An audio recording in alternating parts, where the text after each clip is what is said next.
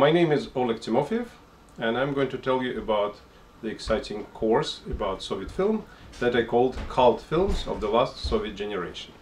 When I came to this country 25 years ago, I was surprised to realize that the films that I grew up with were completely unknown here. Among those who were studying uh, Eastern European or Soviet cinema, it seems that during the so-called stagnation period, during the time of Khrushchev and Brezhnev, no films have been made. It's not really true. I can uh, give a couple of examples.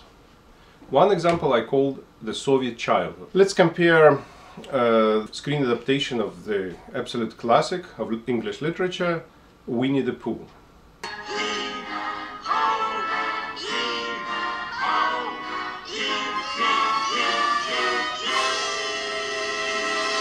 Everybody in the States is absolutely in love with Walt Disney adaptation and when you look at it you can see how skillfully a whole brigade of uh, animators could create a world very similar to ours.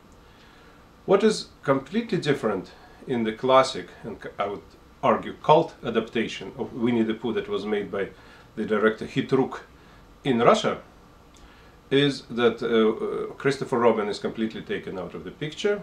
Uh, everything happens between the animals or toy animals, very much like in most Russian folklores about animals where people are, are not the players.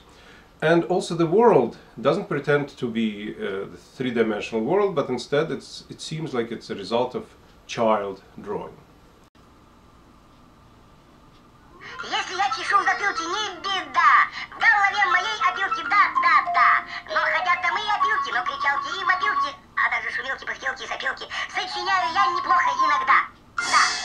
It definitely invited people to be to be part of the creative process. The other example I would like to give you is what I, a section in our class which I call Parade of Parades. Uh, parade was definitely a symbol of Soviet Union for those who observed it from the West. Uh, the stagnation era seemed to be one endless parade, people in grey clothes mm-hmm. marching in various demonstrations, etc. Look what a parade in 1935, The Circus, very famous film, Tsirk.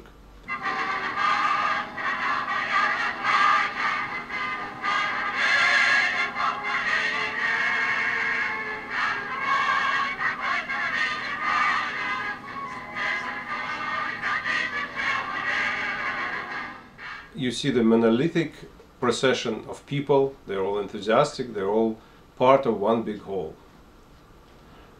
The, uh, the parade in Marlen Khutsiyev, I am 20, or Zastava Ilicha was the other name, uh, is a completely different event. In fact, it splits in several events, and you can see that people, even though the May Day demonstration was an important event for them, and uh, as citizens, they were coming there with some enthusiasm of that kind. They also, it was also a place for young people to hang out, and our main character actually meets his future beloved at that parade.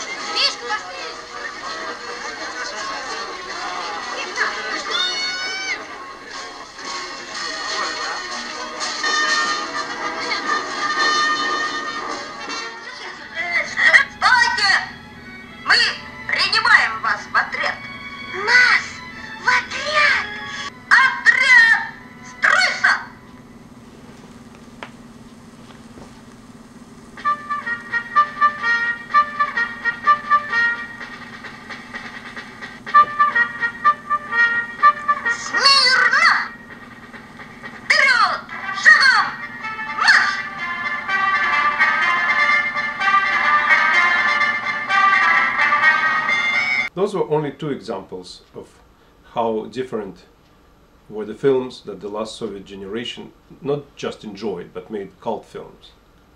There will be many real masterpieces in this course that we will watch with English subtitles, that we will discuss in every minute detail. We will read very interesting articles discussing them as well. So I seriously hope you will take this course.